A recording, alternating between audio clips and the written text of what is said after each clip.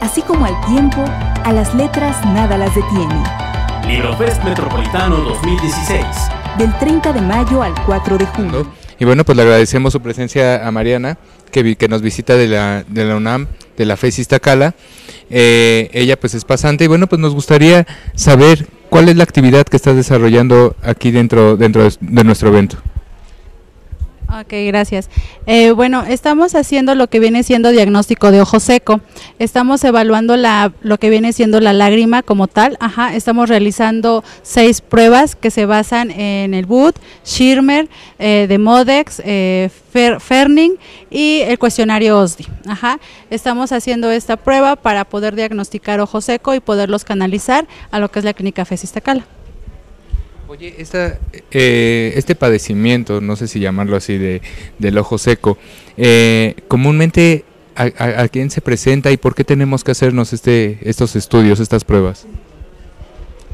Ok, bueno, mira, este, eh, varios estudios han demostrado que ojo seco pues se presenta en ya personas mayores de edad, pero últimamente las bibliografías actuales nos están este, mencionando que ya el ojo seco ya es parte de la comunidad y que es en general tanto para niños como para adolescentes. En este caso, en los adolescentes, que son, este, podría ser los estudiantes, que pasamos más de cinco horas este, trabajando en computadora, leyendo, este, en lo que viene siendo la tablet.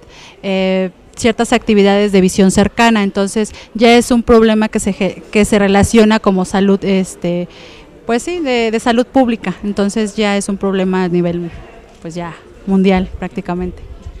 ¿Y a dónde nos puede llevar el hecho de no atendernos, de dejarlo pasar? Digo, finalmente, eh, no sé, en mi caso, por ejemplo, es, de, ay, bueno, me tallo el ojo, este, sí siento de pronto eh, que se seca, pero bueno, ¿cuáles son primero cuáles son los, este, los síntomas más, eh, pues más comunes y luego si no nos atendemos, a qué podemos llegar? Bueno, eh, el ojo seco este, pasa primero por ciertos este, niveles, ¿no?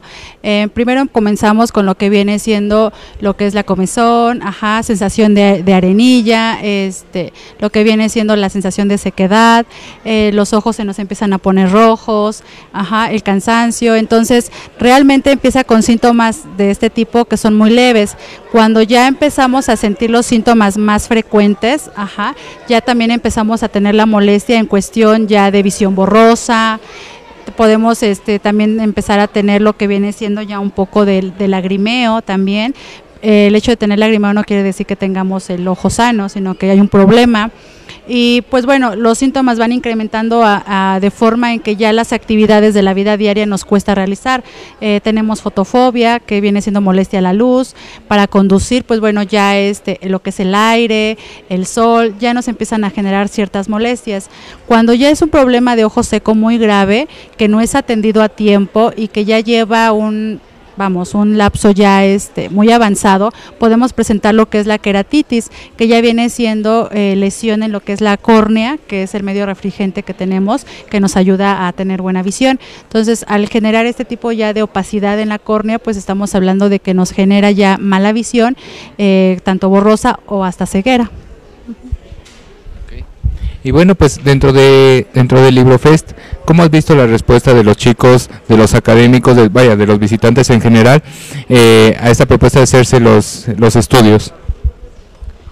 Bueno, pues empezamos ayer, entonces de ayer a hoy estamos viendo que sí hay muchos chicos, este, realmente no hemos dejado de trabajar eh, desde que llegamos, entonces he visto buena respuesta con los muchachos, les ha interesado y les llama la atención el problema de ojo seco, nos preguntan mucho y pues bueno, ya les hicimos la invitación y nos es seguro que nos van a visitar.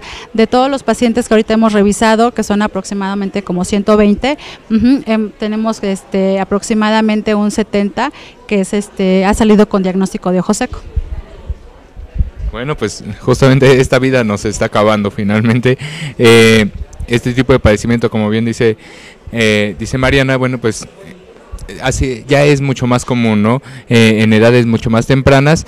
Y bueno, pues nunca está de más atendernos, nunca está de más eh, aprovechar esas oportunidades de, de checarnos, de, saber, bueno, a veces no es un, si tenemos un, pequeños inicios, pequeños problemas, pues seguramente ellos nos, nos dirán cómo, cómo proceder, ¿no? Canalizarnos y demás. Pues te agradezco mucho la visita y bueno, pues nada más eh, invitarlos a, asistir a, a LibroFest.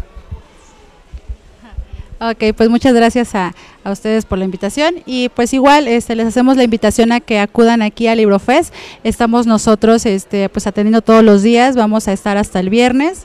No sé si es el viernes el último día, pero vamos a estar aquí. Y pues bueno, eh, es gratuito, no tiene ningún costo y es para todo público, desde niños hasta ya personas de tercera edad. Pues muchísimas gracias y bueno, pues seguimos en LibroFest. Pues vengan, es un evento muy completo. aparte de libros, bueno, igual pueden, pueden checar un poquito cómo están sus ojos. Y bueno, pues seguimos dentro de, de este LibroFest Metropolitano 2016. Casa de Libros Abiertos.